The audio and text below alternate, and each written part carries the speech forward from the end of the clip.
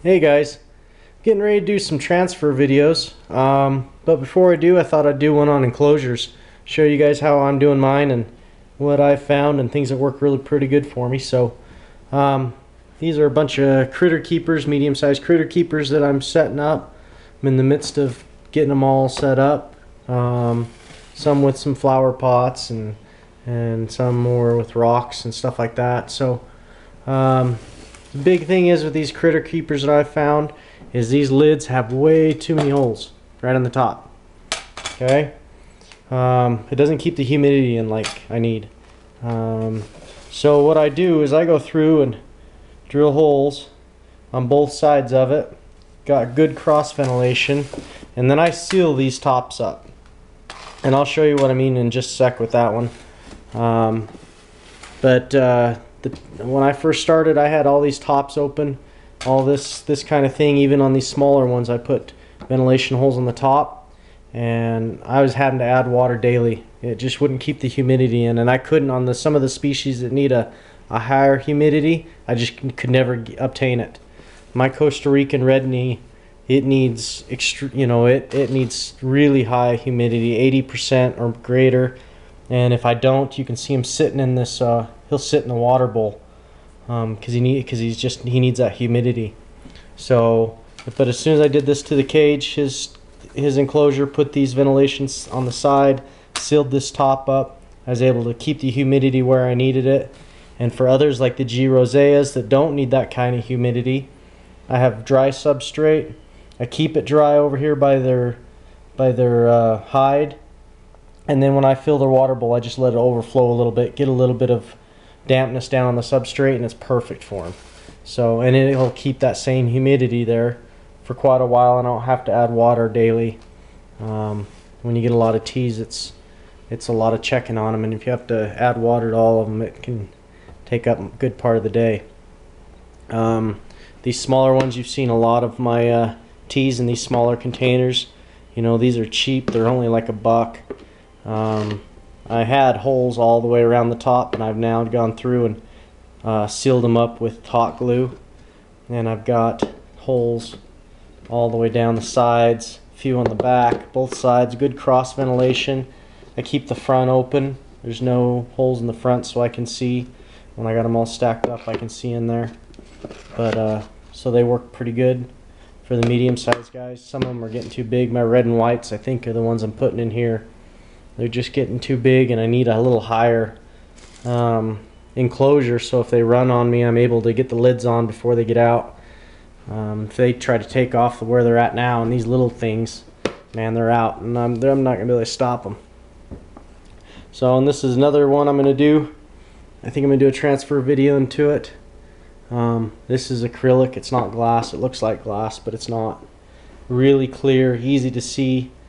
Uh, I've drilled holes on the sides, the back, and then I've left the front with no holes in it so it gives me a clear view. Really pretty. Um, I think I'm going to put my Borneo black in that, but I'm not sure yet. Um, he's going to be kind of small for that, but but he's kind of big for the little one I've got him in, so so I think I'm going to do that for him. So anyway, for these tops, let me show you kind of what I mean, what I'm doing. You can see on this, I don't know if you can see that, but it's all plastic. It's all covered in plastic. Okay, completely completely sealed. And I keep this so I can use it. It's open through there, so I can still use that. I don't usually use it much, but but you can. And what I do is I take this is kind of like plastic wrap, like what you cover with food. But the stuff that I use, it's um it's what they wrap boxes on pallets to keep them on the pallets for shipping. And they just it's just like a wrap. It's almost exactly like food wrap, just a little more thicker. Um, it's uh, it's easier to work with than that thin stuff. But uh, this is what I use. I just unfold a, a portion of it, and then take a hot glue gun and right around where this lit where this opening is, so you can use this opening. I just run me a bead of hot glue, really quick. Around that. Lay that out just like that. Okay, now I can come back with a, you know, a razor knife after that's dried, cut that little section out, and then you can use that little hole. And then you just go around. I start in on the inside edge, do a bead, push that down in there. This is really quick, really easy to do. Let's cut this off so I'm not fighting it.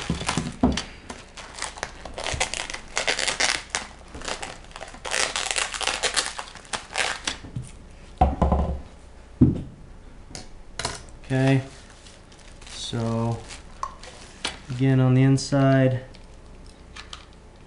quick bead down it, like that. In here,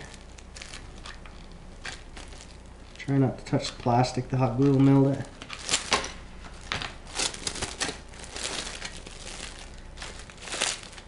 Just like that.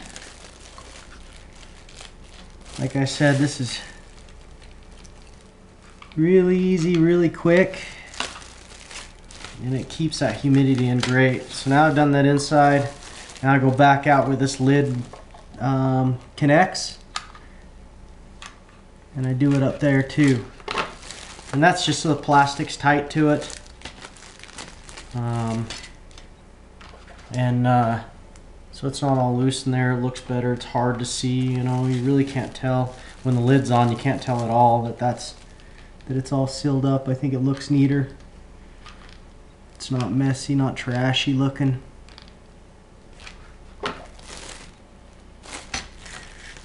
And it won't affect your lid closing at all. So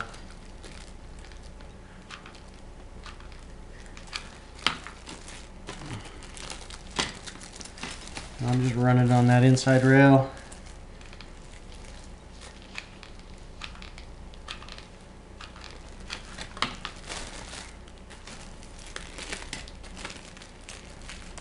Just like that. That's all it for gluing it. And then just go back through with scissors or a razor knife. Cut it right close to the bead of glue you know so it's so it's not sticking out when you've got the lid on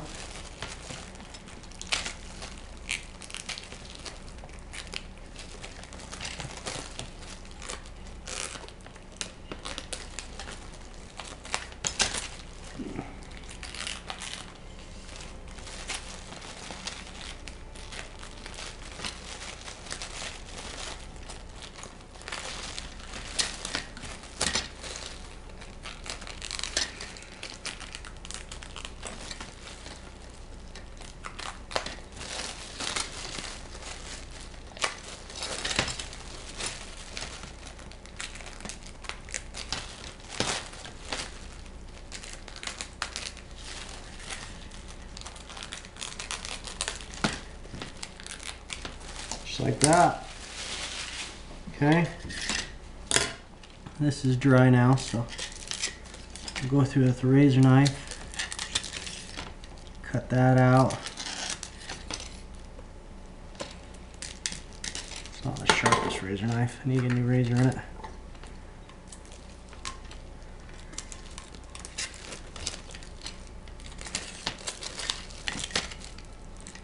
Okay, just like that. See? So you still have complete access here. I'm gonna trim that out, and get that little plastic out so you can't see it. But you got complete access there. And then there's no ventilation through the top. So then all your ventilation is all gonna be cross ventilation that you need. So you gotta get good cross ventilation holes front. I'm gonna put probably put a couple here.